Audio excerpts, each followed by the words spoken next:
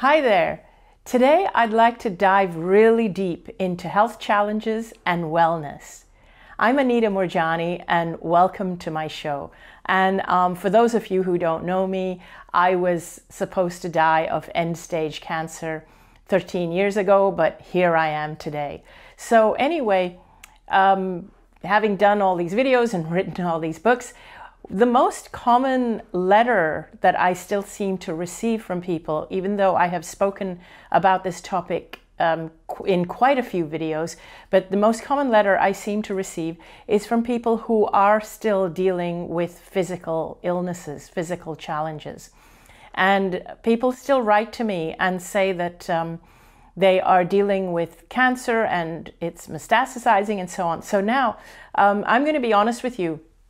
I don't actually like talking about cancer as a topic because I believe that the fear of cancer is a bigger epidemic than cancer itself. I actually don't think cancer is what we have been led to believe. So, for many, many reasons, I don't actually like even using the word cancer. But many times I'm forced to use it because this is how it's presented to me. So, I want to take a deeper dive into this subject and clear up some of the things that um, I believe, and also bring some clarity to my message in the hope that it will bring clarity to you if you are dealing with physical challenges and physical illnesses that have been labeled as being terminal or serious or, or, or life threatening and so on. So, first of all, um, I want to start by saying that our medical systems are not geared towards taking you to wellness because their focus is on eradicating illness. So it's important to understand this that eradicating illness and focusing on wellness are two different things. And I'm going to explain more about that. But I want to repeat that that eradicating illness and focusing on wellness are two different things. And this is because when your focus is on eradicating illness, your focus is on the illness. It's the focus is on looking for illness, examining the body with the purpose of finding illness. Whereas when your purpose is on focusing on wellness, your focus is on increasing wellness. Very different focus, very different energy. And as I will explain to you in a little while, energy is so important in this whole equation of wellness. It's very, very important to feel energetically well. So, now, I also want to tell you that I'm not asking you to stop your medical treatment or anything like that. If you need to continue and or are too fearful to take other routes, or if that is what you believe in, that is fine. But um, I am going to be a little bit provocative in the uh, upcoming information and really tell you where I stand on all of this in total honesty. And you can take it or leave it. And if you are someone who is a strong advocate for the medical model, for pharmaceuticals, for the conventional therapies, then probably this video is not for you. And so I would suggest you view some of my other ones. But if you are somebody who has become disillusioned with modern medicine, conventional medicine, when it comes to illness. Now, granted, I believe in that when it's for emergencies, medical emergencies, accidents, I would definitely go to a hospital. But when it's for illnesses, chronic illnesses, long term illnesses, I'm not a big advocate. But if so, if you are on the same page as me, then this video is for you. And again, if you are not, if you're a strong advocate for conventional therapies for everything, then um, I suggest that this video is not for you. So anyway, so here goes. Um, so first of all, I want to tell you about a letter I received some time ago. Um, and, and, it's not one of the recent letters saying, please help me, I'm going through a serious illness, please help me, the doctor says I'm going to die. No, it was a different letter I received from a lady who said that my, um, my work had helped her tremendously. Um, it helped her change her focus on her body. She had been going through some health challenges. She had what doctors had diagnosed as breast cancer, and she felt that um, following my work and changing her view, changing and giving herself a focus on life had helped her a lot. And she is now completely healed from her illness. Her life has purpose, her life has meaning. Now, she has a daughter, a grown up daughter, who is now going through her own fearful diagnosis. Unfortunately, or fortunately, it depends which way you look at it, um, her husband, so this lady's daughter's husband, is a doctor. And Again, this is nothing against doctors, but they have a very different way of looking at things because a doctor's focus is on the trajectory of the illness. So her husband is a doctor and he is reading all her files and um, and he is interpreting everything to her as a doctor. So now this young woman um, she wants to believe everything that her mother is telling her. Her mother is telling her that um, you need to do do this kind of work. You need to get to the bottom of the root cause. Is it suppressed anger? What is it that's causing it? You you can do energy work. You can do so. Her mother is basically giving her all this help and saying, read these books, do all this stuff.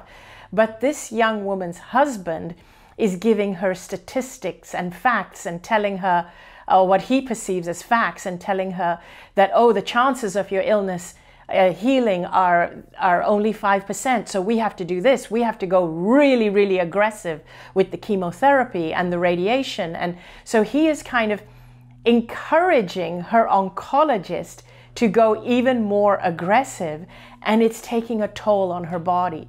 Now, the mother is watching this and the mother is horrified because she is seeing her daughter deteriorate. Now, my heart goes out to the mother and to the daughter, and the daughter is, is fearful of what's happening with her and she's trusting her husband, but the husband is fearful and he's trusting in the doctors and he's a doctor himself, and this is his training. And because it's happening to his own wife, he wants the treatment to be as aggressive as possible. So, this is a very, very challenging situation. But this situation is what, um, what makes me want to tell you that to be aware that a doctor's focus is on the trajectory of the illness they mean well, this is their training. They might be really nice people who want to help you, but I'm going to repeat this. A doctor's focus is on the trajectory of the illness, but your focus needs to be on the trajectory of your wellness. And I'm going to repeat that. The doctor's focus is on the trajectory of the illness. Your focus needs to be on the trajectory of the wellness. And here's what I mean by this the doctor, in all their training, the oncologist, they are going to look at the disease as the disease. They're not going to look at you as the whole person and what you can do to reverse the disease. They're not going to take that into consideration as they focus on the disease. Remember, their focus is on the illness, not on the whole person or the wellness. So, as they look at that disease, they're going to go through their statistics and they're going to see okay, this is the natural progression of this disease. But here's where you come in. When you get this wake up call that I have this illness, what happens? You want to do something to stop it on its tracks and reverse it. Now, so this is why I encourage people that you have to come up with a plan. So I would say, number one, come up with a plan of what you are going to do to reverse this.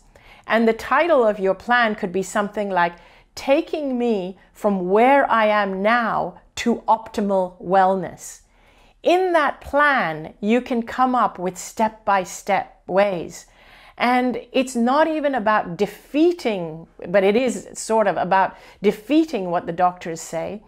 But it's actually not that hard to defeat what the doctors say. We're made to believe that what they say, especially if we give our power to them, we're made to believe that what they say is absolute factual truth, and we actually take it on as our own prognosis and our own diagnosis but they don't know you. They don't know the meaning of your life.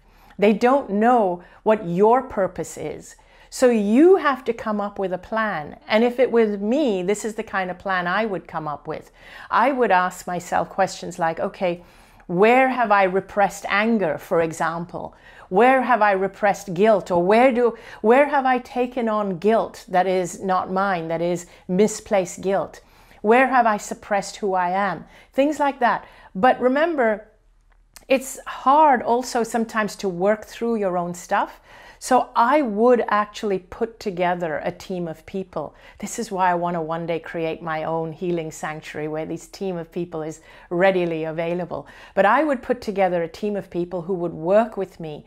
They would also suggest dietary changes that would be unique to me. Remember, even dietary changes isn't one size fits all. Some people can um, can do well on raw plant-based food. Others need hot cooked food. So it's not one size fits all. I would put together a team of people that were very supportive of me, of what I needed, and the main thing is to follow what makes me feel inspired what makes me feel good, what makes me feel empowered.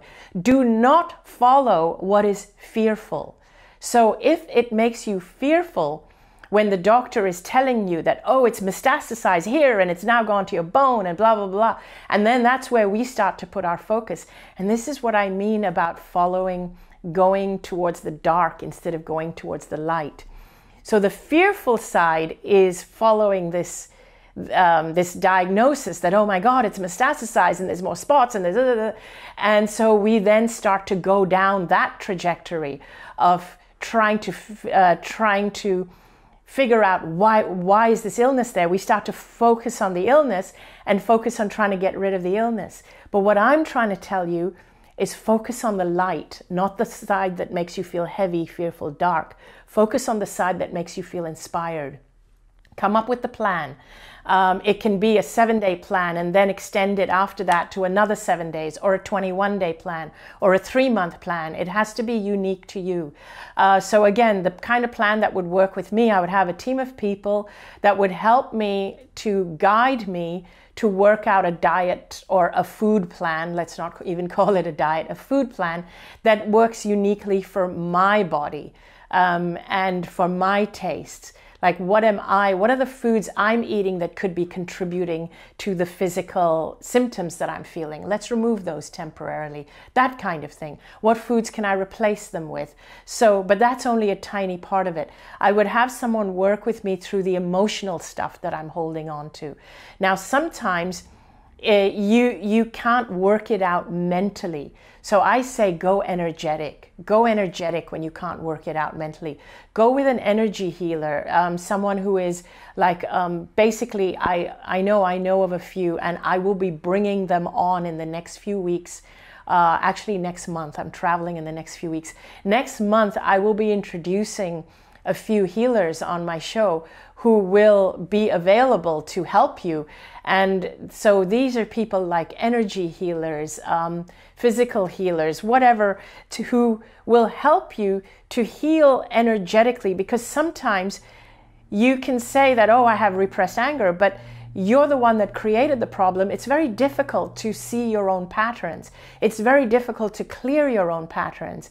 And so sometimes if you can work with an energy healer to, who, who can at least clear the blockages that those patterns have created in your body, that can then trigger the insights for you to see the patterns that you have been creating to cause that blockage. So, in other words, it's the other way around. It's not about figuring out what are my patterns so that I can clear the blockage, but you could attack it the other way and have somebody who is a, um, very good with breaking down blocked energy in your body and have them clear the block en- blocked energy and they will even be able to tell you this energy feels like repressed anger. Where have you been repressing anger?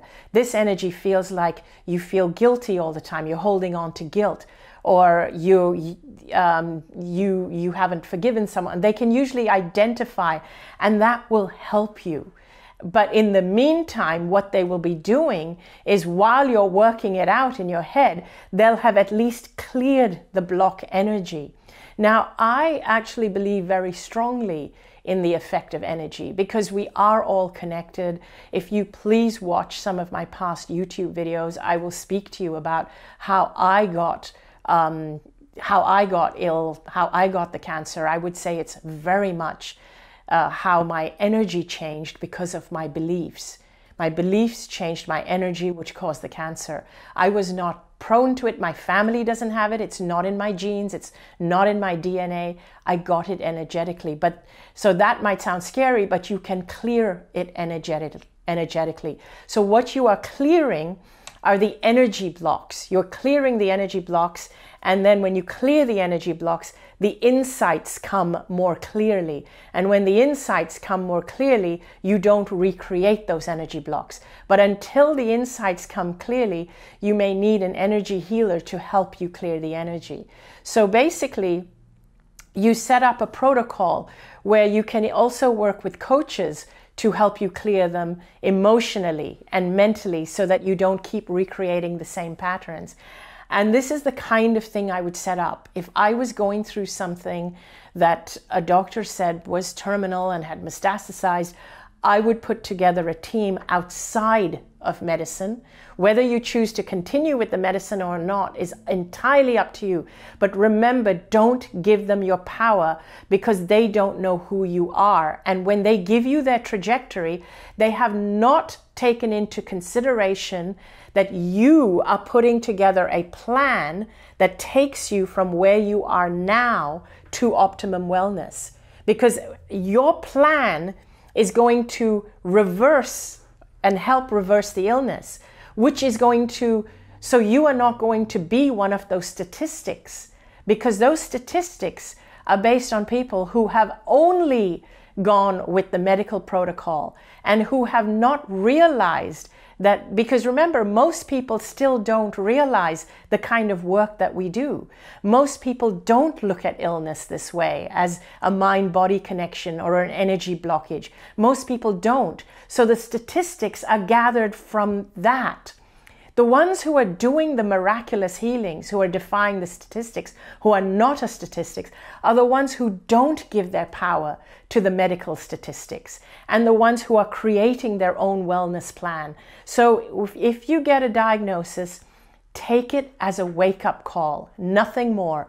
It's a wake up call. So if you're feeling symptoms that are scary and you go see a doctor, you get a diagnosis, that's your wake up call. Now it is time to create your plan to go from where you are now to optimum wellness. And remember, your optimum wellness plan also needs to include what is my life's purpose? If I get a clean bill of health right now, what do I want to do with the rest of my life? What is my environment like where I'm living? If I go back to the same environment with the same community and the same people, um, are they, is it, um, am I able to cope with that and handle that? Or is that the cause of me feeling all the emotions that are blocking my energy? You see, for some people, they may they may not have a purpose. They may be done over here. They may be maybe they have lost people they've loved and they have no reason to stay on in this planet. And so they would be very well justified to leave. And leaving is not losing the battle, it's their time. They're done here. But those people, um, and they may manifest a disease to allow them to leave. But that disease in conventional medicine again becomes a statistic which you are then being presented with. But you are not that person who is ready to leave. Or if you are, that's fine. But if you are not, then you don't need to take those so called facts of statistics that are being presented to you by, by the medical community about why you need to have aggressive treatments because you are not that person. So I hope that I've made myself clear. And just to recap, it's about making a plan taking you from where you are now to optimum wellness. And in that plan, you have to include everything, include, including your purpose for being here and create something that makes you looking forward to living the rest of your life. You have to have a reason to live for. Why do you want to live? You don't want to have a life where you dread going back to the life because that is what caused the illness in the first place. So thank you for listening. And I want to now go into a couple of questions. And I know that I have a couple of questions uh, from last week. And before I go further, I also want to mention that I do do a lot of retreats Um, an exciting one coming up is the cruise. And at these retreats, we actually practice energy healing to remove those blockages. So if you're at any of my retreats, we will be doing energy healing. Unfortunately, I don't, uh, I, I don't take appointments one on one outside of the retreats, which is why I like to recommend some of my friends who do it. But it's something you can learn to do yourself. It's not about you need to give your power to an energy healer. I want to be clear about that. The energy healer kind of helps you to get in touch with your own power. That's so so I will be putting you in touch with more people like that who can help you and we will be showing you on some of my future videos. Anyway, um, I would like to um, punch up some some questions. I think we have one from that from somebody who posted on my Facebook during the course of the week. Um, so it's we have a question from a lady named Sandra Harris who says, uh, "Hi Anita, I enjoy your message and story. I have a question. Why or how is it that some people, for example, you or others who have psychic and or spirit abilities, see angels, hear spirits, have NDEs, and many uh, and most others, in fact, don't?" How is it fair that they have an inside scoop and their own personal proof of an afterlife and or the existence beyond this uh, this life in God and heaven, etc. I struggle with this, with how this is fair. We are all equal and entitled to the same joy and rewards after life. It seems we have um, it, it seems some have an upper hand and others who try to connect are not able to. I am on my quest and meditate and read and study, but no matter how much I do or ask, I never have any sense that anyone or anything is out there. What are your thoughts? And I am curious on your opinion on this. Thanks again for all that you share. Okay, that is a great question. Um, so life so basically there is no uh, choosing nobody is forsaken that's what i'm trying to say none of you are forsaken nobody is being left out nobody is not being looked after and it and so my theory for some of the people that feel like yourself sandra that feels that you are trying everything but it's not coming to you my sense is that you're already plugged in and the reason why you don't see it is because it's so natural to you that you are so plugged in, it's so natural to you that you can't see outside of it, but you're looking for something unique or different, or you're looking for something that's not in the shape or form that it is. In other words, you have a mental image of how it should be, but it's presenting itself to you in a different way. So, for example, the fact that you are a living, breathing being. The fact that you have the mental ability to differentiate who you are, differentiate yourself from other people, and say, I am Sandra, this is how I feel, I feel like it's not fair. That in itself is you having a spiritual experience.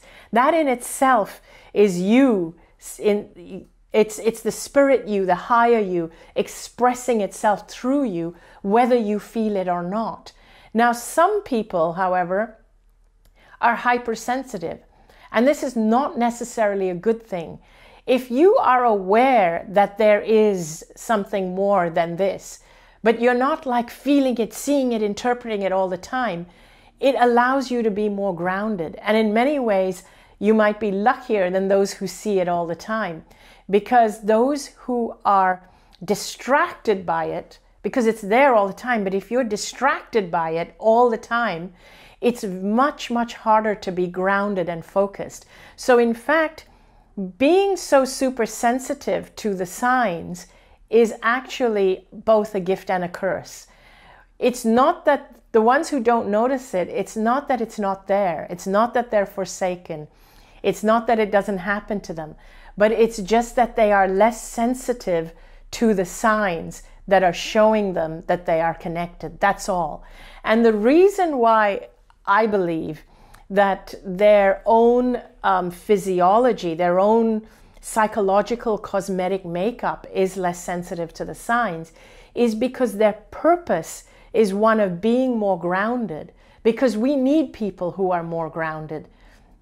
We need people who are more focused because the ones who are more sensitive to the other side are also the ones who are more creative, but they are also the ones who have a lot of issues with boundaries because we tend to see the spiritual self of everybody even here in the physical and we have and we have a lot of trouble having boundaries between them and us. And so people who are super sensitive are terrible with boundaries.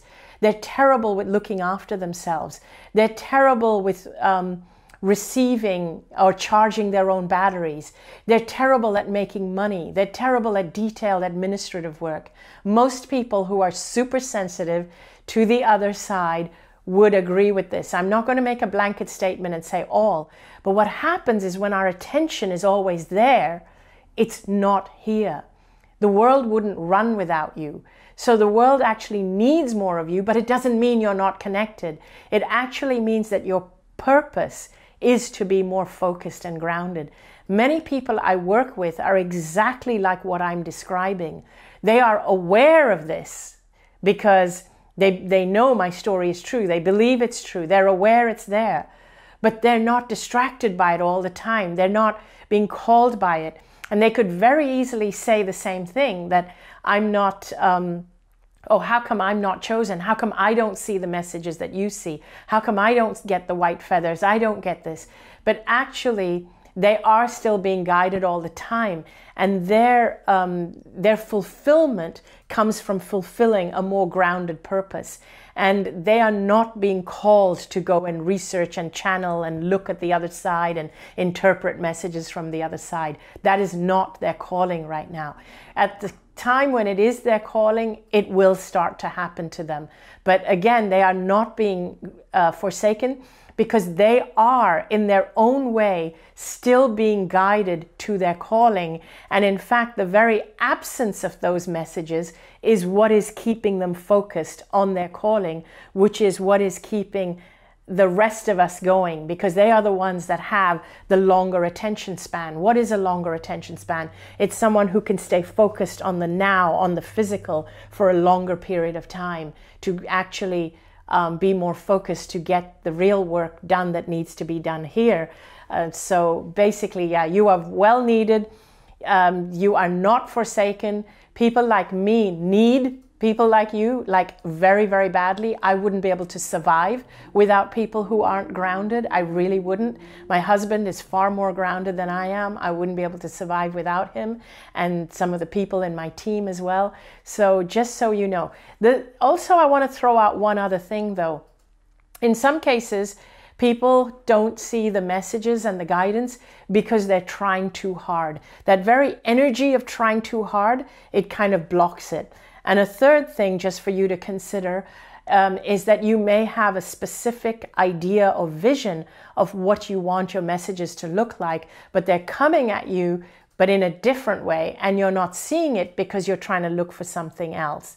You know, I often use the analogy um, if you watch my TED talk, where I, I tell people to look around the room and find something that's blue in color. Then I tell them to close their eyes, and then I ask them, What in the room did you? Uh, I want you to re- recollect everything in the room that was red in color. And people don't remember anything that was red, even though it was right on their, their nose, because they were so focused on the blue. So if you are focused on one thing, a message can come at you in a different form, and you may not even see it because you're so highly focused. And that's what my flashlight analogy is about as well. When your flashlight is highly focused, then you will only see what your flashlight is focused on. And sometimes you do need to be focused. Grounded people need to be focused. But um, sometimes it's okay to say, I'm going to diffuse the flashlight or turn on the big floodlights and be open to whatever comes my way. So, those are the suggestions I have for you. But just remember, you are not forgotten. You are not forsaken. None of these things. You are very much looked after. And in fact, you may be more plugged in than you ever realize. You may be more plugged in than the ones who actually do tell you they get messages because you might be taking it so much for granted that you no longer recognize it as something special or different. So, thank you for that question. It's a beautiful question, Sandra. And um, I did have one more that I wanted to visit, and then I will take a quick look at some of your comments as well. Um, so, and thank you everybody for all the likes and the hearts. And uh, if I had emojis, I would be pushing them up right now so the screen would be filled with them. So, we have one uh, also that came in about a week ago, I believed, and I'm not going to say his name.